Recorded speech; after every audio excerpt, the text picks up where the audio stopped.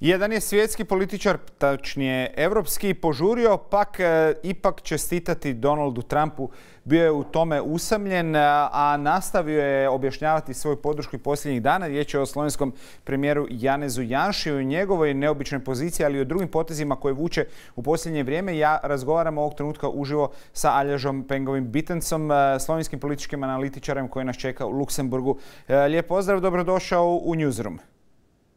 Hvala, dobro dan, hvala na pozivu. Što se krije iza Janšine potrebe da na samome početku brojanja glasova, iako je bilo jasno da bi zbog ovih dopisnih glasova moglo doći do preokreta u svim smjerovima, e, požuri čestitati Trumpu i da nastavi na tome inzistirati, čak dovodeći u pitanje i on na Trumpovom tragu e, sam proces brojanja glasova? Pa to je dobro pitanje. U stvari mislim da tačno niko ne zna, osim naravno premijera Janše. Tu ima nekoliko opcija. Jedna od njih je da je iz nekog čudnog razloga Janša nekako lojalan Donaldu Trumpu, bog zna zbog čega. Možda zbog toga jer razmišljaju nekako slično što se tiče E, stavova i svjetskih razmjera. Ali druga isto tako moguća opcija je da je Janša trebao diverziju e, unutarnju političku jer je e, epidemiološka situacija u Sloveniji još uvijek jako, jako loša i da tako kažem, mediji trebaju neku drugu temu da se o njoj raspričaju jer Janši ne valja da se priča samo o, o covidu i, i posljedicama toga u Sloveniji. Pa makar bila i situacija u kojoj ga se dovodi u usporedbu sa eh, onim liderima rijetkima u svijetu s kojima eh, u normalnim okolnostima nitko ne bi volio biti uspoređen. Pa da, mislim, Janša je sada Janša je dugo vremena valjao za, da tako kažem, glavnog atlanticista u Sloveniji. Pa je sada ironično da se on našao na istoj strani sa režimima u Moskvi, Pyongyangu i Pekingu, pogotovo kad su i njegova, da tako kažem, i liberalna momčad, dakle Viktor Orban i Aleksandar Vučić su već čestitali Bajdenu, pa je Janša tu ispao, nema druge riječi, neka budala. E, Janša e, je uporan u tome da pokuša e, pokazati kako nije još uvijek sve gotovo, koristi argumente o tome da ne mogu mediji proglašavati pobjednike, da se još uvijek broji, da je prerano govoriti o svemu. Međutim, usamljen je u samoj Sloveniji jer predsjednik Pahor ima drugčiji pristup. To je tačno, ali treba isto tako znati, razumjeti da je to standardno Janšovo ponašanje. dakle, on je tu komentirao američke izbore pa je nekako, mislim, došao na teren na kojem se niše nije baš našao, ali takvi komentari izbora su bili standardni sa njegove strane. Svaki put kad je izgubio, a doduše i kad je dobio izbore, on je uvijek nekako krivio medije za, za takve ili onakve poteze, za, za to recimo da situacija nije ispala baš tako kako si on zamišljao ili želio, želio tako da um, tu, nije, tu nije nešto novo. No, novo je to da je Janša tim svojim potezima koji su, kao što sam rekao, standardni za slovenske razmere, on jako, jako naštetio odnošaja, budućim odnošajima sa Slovenije sa Sjedinim američkim državama, pa i e, njegovoj vlastitoj kredibilnosti na europskom parketu. E, jedan od posljednjih njegovih tvitova na tu temu e, izazove također burne reakcije odgovarajući europarlamentarki Fajon. Odgovorio je fotografijom na kojoj piše sam razmisli odnosno odluči za sebe i objaviši fotografiju, poznatu fotografiju sa jednog nacističkog skupa u Njemačkoj uči drugog svjetskog rata, onu poznatu fotografiju na kojoj je jedan jedini radnik u brodogradilištu, ako se ne varam, nije spreman podići ruku na nacistički pozdrav. Međutim, e, ako je on taj jedan jedini, e, tko su onda ljudi koji su na ovoj fotografiji nacisti, odnosno kakvom poruku šalje ostalim svjetskim liderima? Pa opet sve što, što, što se retorički upitali je tačno.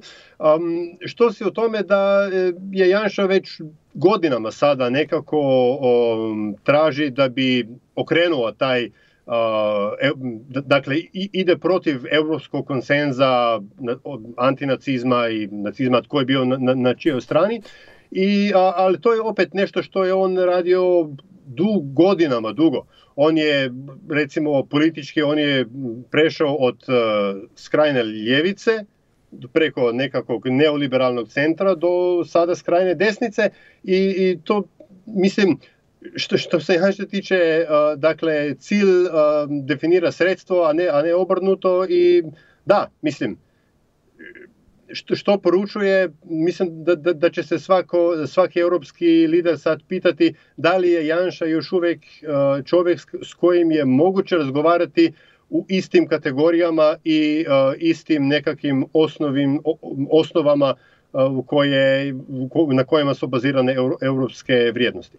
Malo ispod radara ovdje u Hrvatskoj prošla je još, jedna, još jedan njegov okršaj, odnosno još jedna faza njegovog okršaja sa medijima. Naime, slovenskoj javnosti otvorenim pismu obratili su se prije desetak dana urednici najvećih slovenskih medija, kako tiskanih, tako i elektronskih, kako javnih, tako i privatnih, zahtijevajući od vlade Janeza Janše da ne koristi korona krizu za obračun s njima. Da, to je dio dakle više, više strukog, dakle više strukih poteza vlade u posljednjih recimo šest mjeseci nakon što su proglasili pobjedu nad prvim valom korona epidemije. Tad se onda vlada počela baviti svim ostalim osim pripremama na, na drugi val. Posljedice toga vidimo sada u Sloveniji u ovih dana. I, i mediji su jedna, jedna od tih meta vlade Jana Zajanše, pa i njega osobno, a, a u isto doba su tu i dakle, nevladne organizacije i svi drugi koji nekako ne idu u kontekst vladnog djesničarskog narativa. I tu je možda i jedan od odgovora na vaše prijašnje pitanje šta stvarno Janša misli. Postoji isto mogućnost da je on počeo vjerovati vlastitoj, dakle, vlastitoj propagandi i da je on stvarno vjeruje stvari koje on sada recituje, pogotovo danas taj o to bože neki teoriji zavjere kada je Pfizer već znao za relativno uspješno cjepivo protiv koronavirusa i tako dalje, da tu nije više jasno da li je on nogama u, stoji na nekim realnim osnovama ili on već odlutao Bog zna gdje koliko lako situacija može kliznuti u potpuno neželjenom smjeru vidjeli smo i e, prije nekoliko pak dana kada su e, izbili neredi usred Ljubljane, odnosno kada su se e, prosvjednici odlučili obračunati sa policijom, ali i sa medijima koji su pratili prosvjede protiv načina na koji vlada upravlja krizom. Eh, odmah je stigla eh, optužba iz redova vlade, odnosno od ministra unutrašnjih poslova, ponovno adresirana na medije. Da, mislim, ta, ta optužba uh, unutarnjeg ministra Leša Hojsa je, je degutantna, to je jasno, jer je bila policija ona koja je dozvolila da su da je prosvjed eskalirao do tačke u kojoj su glavnu ulogu preuzile grupe, grupe huligana. ja mislim da je u, velikoj većini policija u, Sloveniji još uvijek jako profesionalna i zna da radi svoj posao, ali, taj, ali treba dozvoliti da taj posao obavi. Dakle, teorija je tu je da je policija bila spriječena obavljanjem svog posla i da su tu bili dakle neki huliganski elementi bilo to iz navijaških nogometnih navijaških grupa ili pak iz, iz inozemstva dakle ili iz Srbije ili iz Bugarske, tu su bili neki, neki tweetovi su kružili po, po slovenskim socijalnim mrežama koji su navodno dokazivali, dokazivali taj inostrani element, ali pogotovo je tu treba isto i znati da je taj isti uzorak smo mi, mi već vidjeli na prosvjedima 2012. i 2010. godine kad su protesti, prosvjedi bili, bili legitimni pa su ih uzurpirali da ih je uzurpirala nekolicina ljudi. 2012. recimo pokazalo se da su to bili ljudi sa direktnim vezama u neonacističke grupe, pa dakle su tu pitanja tko je iza ovih nereda prošli, prošli četvrtak e, jako, jako na mjesto. koliko ste zabrinuti s razvojem situacije, odnosno što možemo očekivati kako na političkoj e, pozornici sljedećih dana, tako i na ulicama? Ja mislim da je situacija na ulici neće eskalirati u, u, u nedogled. pogotovo ako recimo ako idemo u tom smjeru da je, da su, da je, taj, da su, da je ta eskalacija na prosvjedima bila organizirana, to je dakle, to je treba razumjeti kao nekakvu poruku i medijima i ostalim i, i ostalim prosvjednicama i onima koji, koji stvari ne, ne vide kao, kao ih vidi vlada Jana Zajanše. I taj poruk, ta poruka je ako, će se, ako ćete se još uvijek udupirati, dobit ćete batine. To mislim da danas 2020. godine ta poruka više e, nije e, efektivna i pa mislim da će tu i vlada ne, ne, neće tu eskalirati dalje.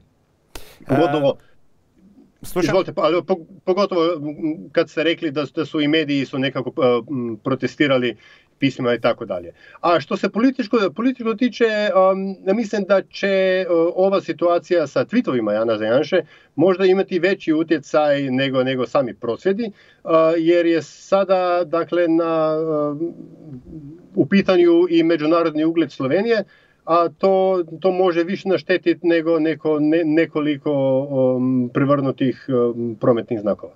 Aljaš, hvala na ovoj analizi što se događa u susjednoj Sloveniji u sjeni korona krize. Analizirao je za Newsroom Aljaš Pengov Bitenc.